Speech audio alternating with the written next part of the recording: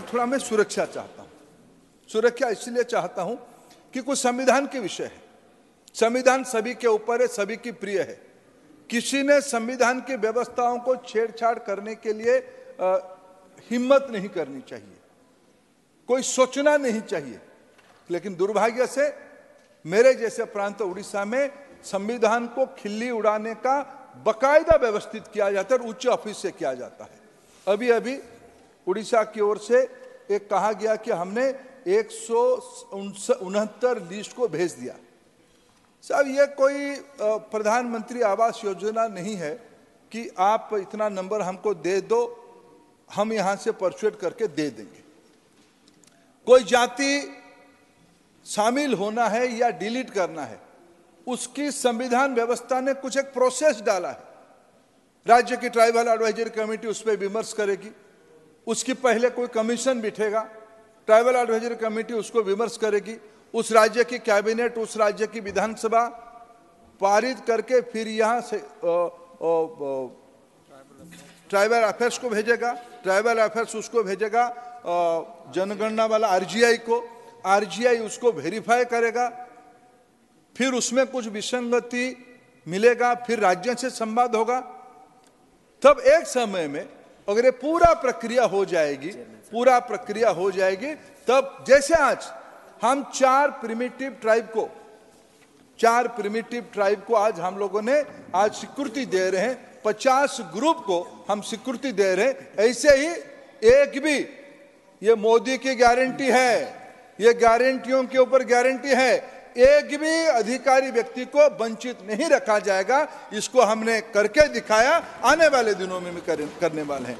उड़ीसा में अभी भी 120 से ज़्यादा प्रपोजल जो यहाँ एक बार भेजा था, उसको कुछ क्वारी के साथ भेज दिया गया है कंप्लाई करने के लिए उड़ीसा को। जितना ही जल्दी उड़ीसा सरकार उसको पूर्णांग भेज देगा, निश्चित रूप में अर्जुन मुंडा जैसे एक सक्षम नेतृत्व उसको इम्प्लीमेंट कर देगा। मैं अनुरोध करूँगा मेरे उड़ीसा की प्रभावशाली मित्रों को, उनका प्रभाव खूब है। ये लोग थोड़ा अपनी ताकत लगा के जल्दी। ऋषि बाबू, आप तो ट्राइबल आंदोलन से आए हो। मुना बाबू, आप तो आदिवासी इलाका से आते हो और आप संबित वंचित वर्गों का प्रतिनिधित्व करते हो। मैं आप तीनों से व्यक्तिगत रूप में अपेक्षा करता हूँ।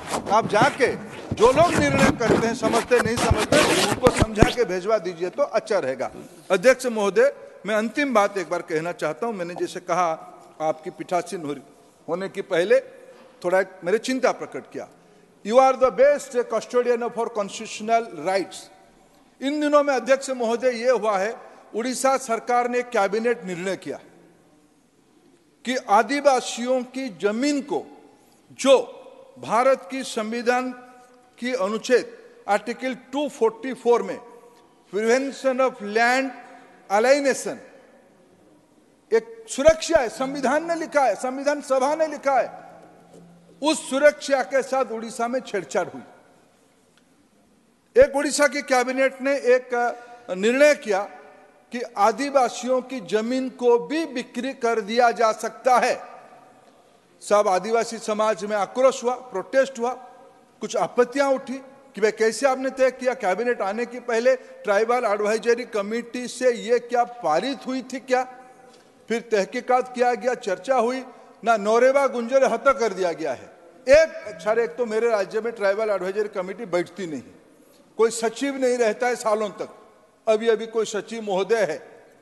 कोई सालों तक वहाँ ट्राइबल अफेयर्स के बारे में सचिव नहीं थे। एक ट्राइबल एडवाइजरी कमेटी की एनेक्सर में इस प्रकार की कुछ चीज़ों को चुपचाप से भर्ती करके कर दिया गया, ये कहा गया।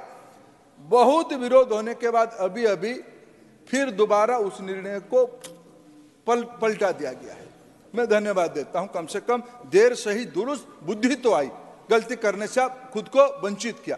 लेकिन ये कोई विषय का नहीं, जिसकी मन में सर, जिसकी मन में एक बार आदिवासियों का ज़मीन हड़पने का किसी के मन में खून लग गई तो सर देर सवेरे आ ही जाता है।